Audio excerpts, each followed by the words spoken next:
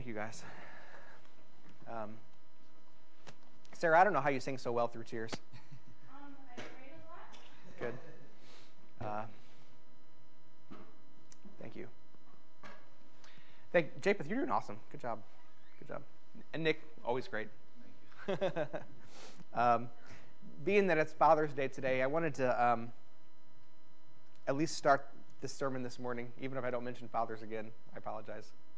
But I wanted to start this morning with a few good dad jokes. Um, why do fathers always take an extra pair of socks when they play golf? In case they have a hole in one. Yeah. Sorry. um, I love dad jokes. All right, so hold. Uh, my, my, wife, my wife says that I need to um, do lunges, lunges to stay in shape. That would be a big, big step forward. There you go. Sorry. uh, why was the calendar afraid? Why was the calendar afraid? Because its days are numbered. I mean, come, that's a good one, guys. That's a good one. Uh, sorry, sorry. Uh, so I was posting. Uh, not, I was. I saw a post on Facebook this morning of another pastor asking. Uh, and, and, actually, I had written this into my sermon even before uh, this pastor mentioned this. But another pastor uh, asked um, for some good dad jokes to begin his sermon this morning, and I already had three in my written into my sermon for this morning. But then one of the pastors, it, I think the first comment was, he said something like, "Just keep the jokes out of the sermons, pastors. Just, just stick to preaching. Um, pastors aren't any good at telling jokes, and that's probably true anyway. But, but his point was that humor shouldn't be a part of our church service. And I'm thinking, are you serious? Jesus taught through stories and, and irony and humor all the time. Just read the parables, man. And I'm thinking, maybe I'm not a great joke teller, and that's, that's why we didn't have huge uproars of laughter this morning. Um, but I think God wants to be like a father to us. And he wants us to relate to him like a child relates to his father. And I, and I hope my, my kids love me like that and know that they can come to me and know that um, we can just joke around and be ourselves together. Um, I'm, not, I'm not sure God likes or tells dad jokes, but, but I do know that he's our father and he loves to welcome us and, uh, into his family by faith. And, and yet, so many people refuse to come to him, to see him as, as Father. In fact, many of his children refused to come to him, whether out of shame or pride.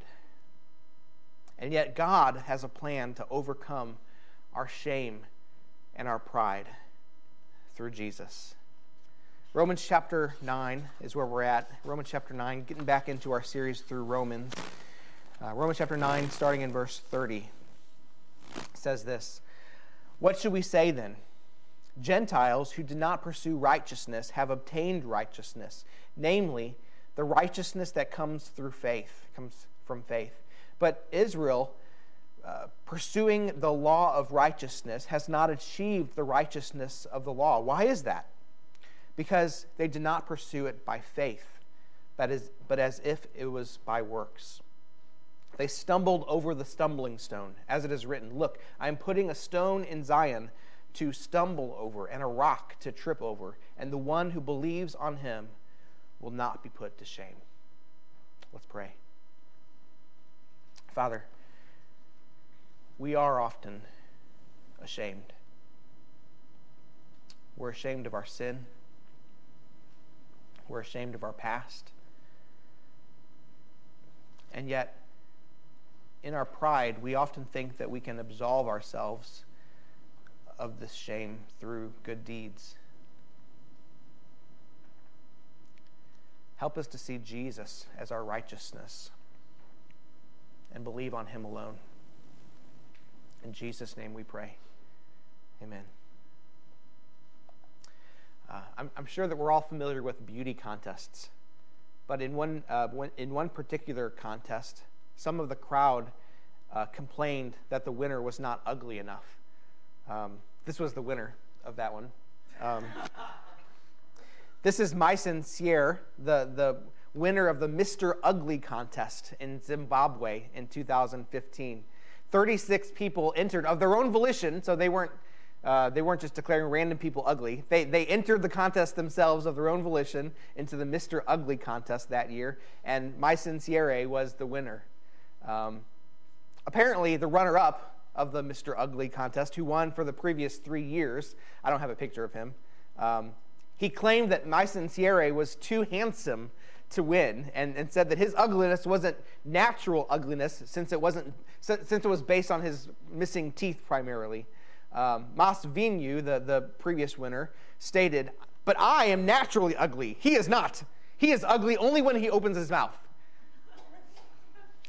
now, I think Mison Sere isn't as ugly as he or the judges think, because I think that there's beauty in everyone that God creates.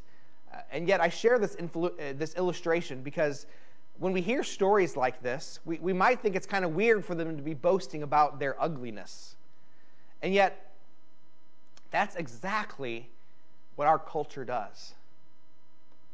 Or, or really, any of us does when we take pride in things like our possessions, our knowledge, our sexual immorality, alcoholism, or, or even false humility. We boast and brag about these things that really ought to cause us shame. And yet we do things like this because, according to the Bible, we are all ugly by nature. We're born in sin. As David wrote in Psalm 51 Indeed, I was guilty when I was born, I was sinful when my mother conceived me. Psalm 51 5. And this is the reality for all of us. We've all sinned and fall short of the glory of God. Uh, verse 30 in our passage this morning once again begins with the phrase, What should we say then? We've seen this several times in Romans. Romans, if you just read it straight through, is one argument, and he just keeps on going. What should we say then? Just prior to this, Paul had just written about uh, objects of wrath and objects of mercy, and he made the point that even many of the Jews, God's chosen people, his children, who looked to him as their father, had shown themselves to currently be objects of wrath because of their faithlessness. And we've all been unfaithful. We've been there. None of us have perfectly obeyed God's commands. We were all objects of wrath. But this was all according to God's plan.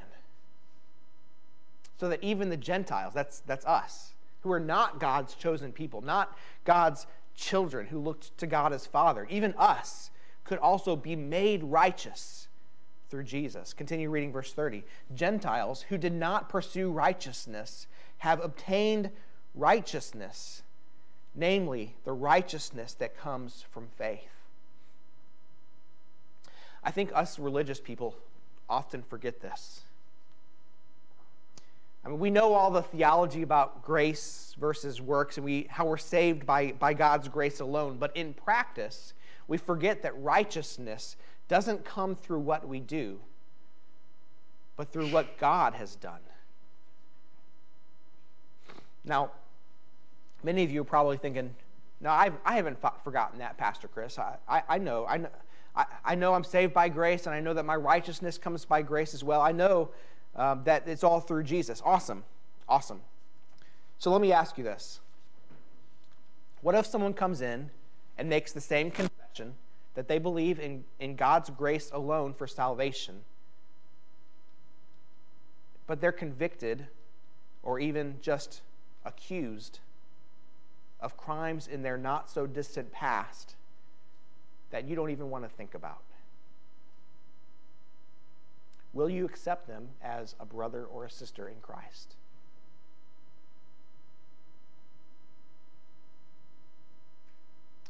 And maybe you would do that much. Maybe you would accept them as a brother or sister in Christ, but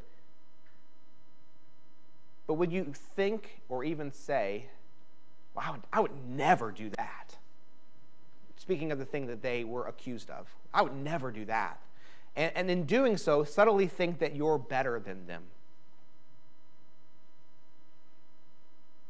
In other words, maybe you think you're saved by grace, but made righteous through works. Maybe you like to compare your, your works with other people's works so that you would feel good about yourself and be able to judge others. But that's exactly what Paul is saying doesn't work. Paul is saying that non Jews, Gentiles, us, obtained righteousness when we didn't even pursue righteousness. If there's even a hint of you that thinks that you're more pleasing to God than an accused person or even convicted felon because of your superior lifestyle, then you're not thinking like a Christian, but like a Pharisee. That same way of thinking occurred in many of the Jews. That's, that's why many of them literally became Pharisees. Uh, look at verse 31. But Israel, pursuing the law of righteousness, has not achieved the righteousness of the law. Why is that? Because they did not pursue it by faith, but as if it were by works. So, are you acting in your practical everyday life, thinking that you're more righteous than somebody else based on what you've done?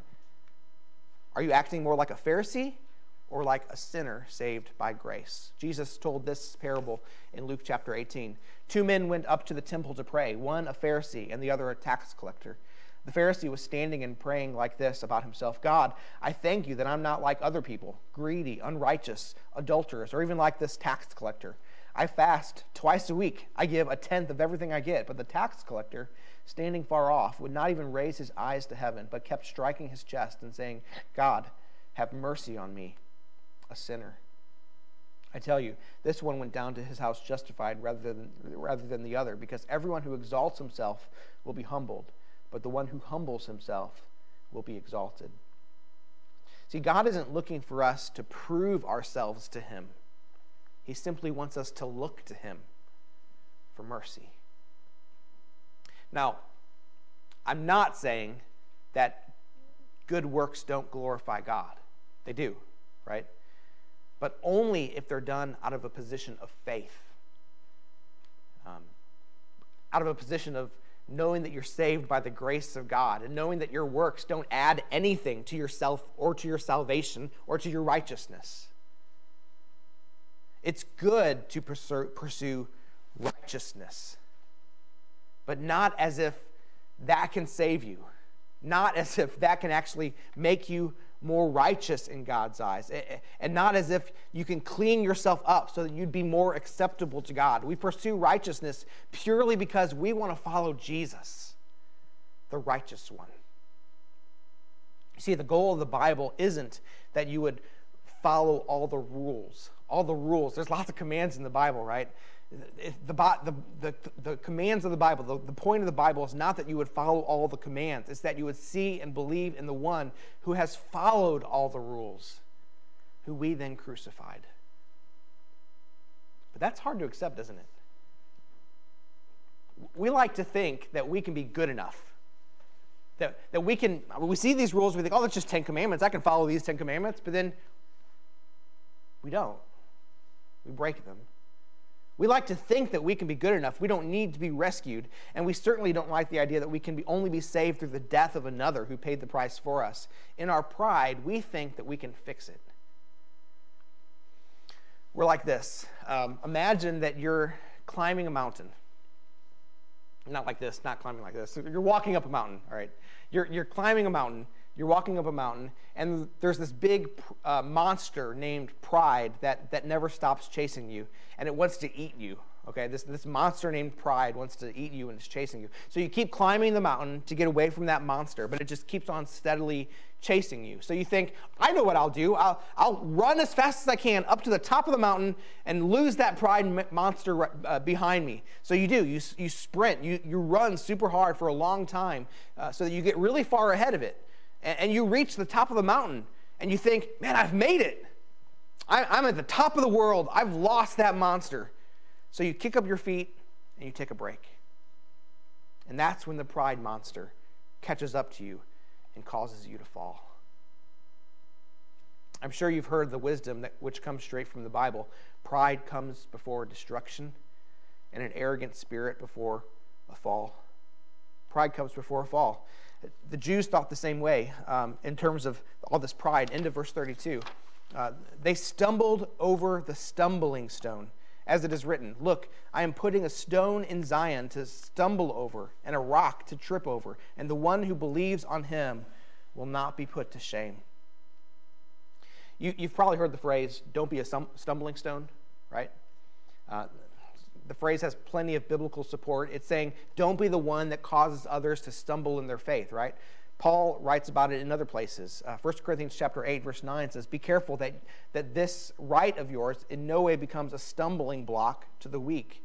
So, in other words, if you have uh, the Christian freedom to do something that isn't sin, uh, it's better to not do that thing in front of young Christians so that they don't question their faith because they think it is a sin, right?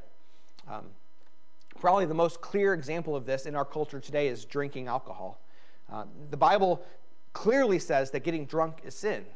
Right? There's no, there's no doubt about that. Getting drunk is sin. But it's also clear that it's not a sin to drink in general. When, when, it, when it doesn't lead to getting drunk, um, when uh, if it's maybe for like Paul said to Timothy for medicinal purposes, Jesus even turned water into wine, showing that it's okay to use to celebrate.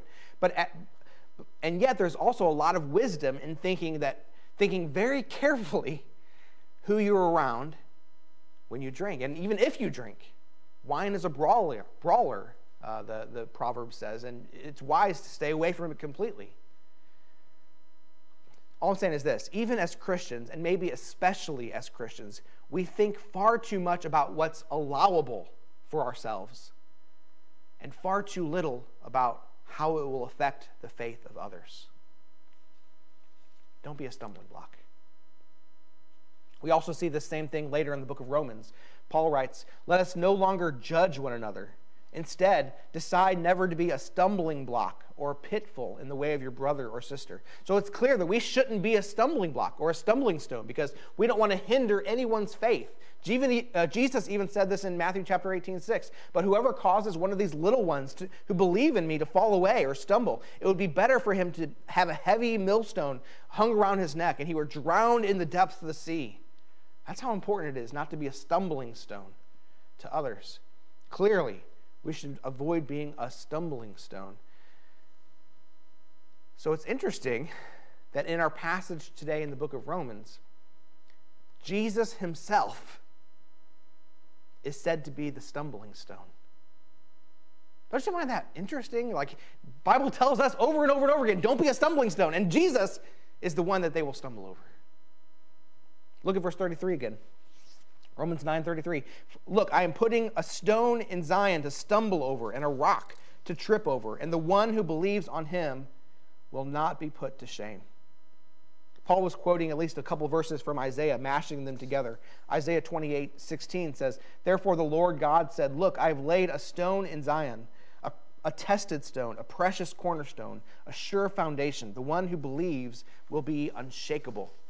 Which looking at that verse alone, just that verse, it sounds pretty positive, right? Jesus would be the cornerstone, the foundation, the one that we should believe in.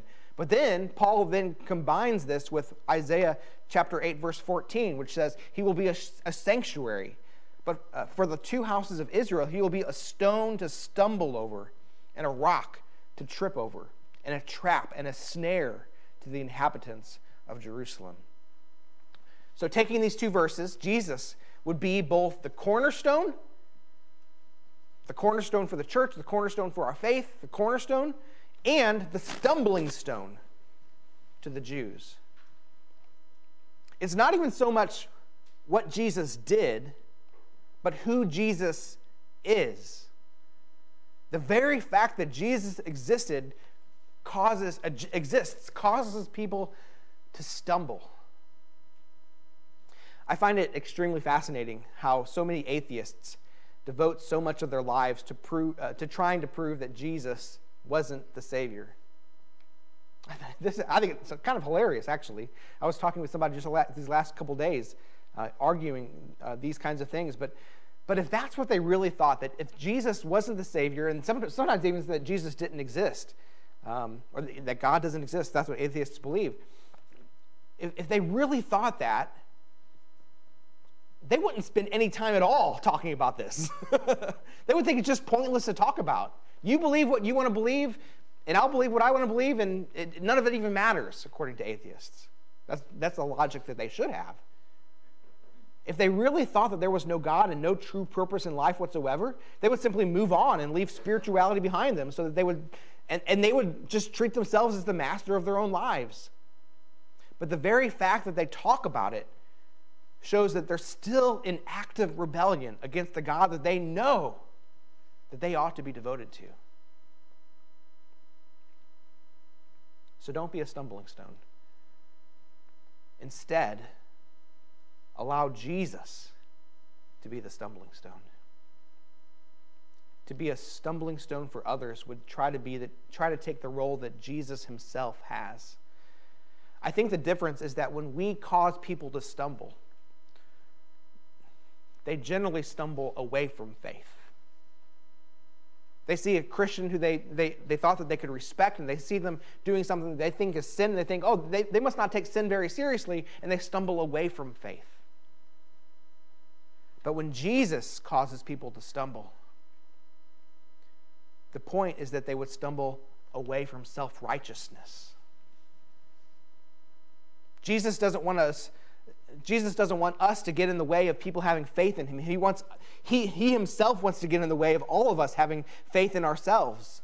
Jesus wants us to trip up so that we would reevaluate our lives. Jesus doesn't want us to stumble in a bad way, but in a very good way. He wants us to see that the road that we often travel in life won't justify us, that we're not saved by our works, but by His grace.